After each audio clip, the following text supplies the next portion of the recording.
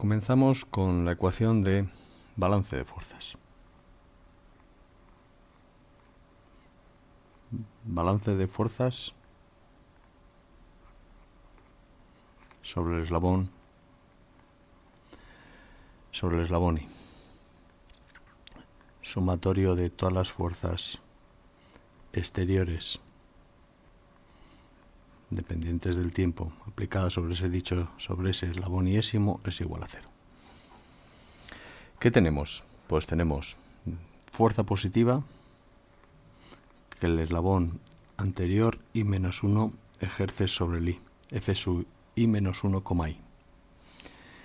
Le restamos la fuerza, en este caso negativa, que pierde el eslabón I para dársela al I más 1, F vector f sub i, i más 1. Y tenemos la fuerza positiva dividida la gravedad, que es igual a la masa m sub i por vector de gravedad.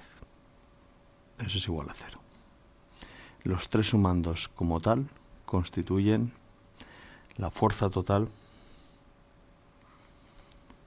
aplicada sobre el eslabón iésimo.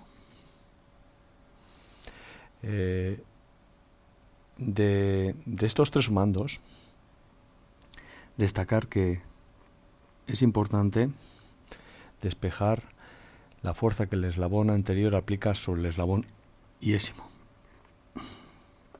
Despejamos dicha fuerza que el eslabón anterior aplica sobre el eslabón actual, quedándonos que esa fuerza, F sub i, i, F sub i menos 1, i, es igual a la fuerza positiva que el eslabón IN ejerce sobre el I más 1 y con signo negativo la fuerza de la gravedad pasa al segundo miembro de la ecuación como m sub i por vector de gravedad.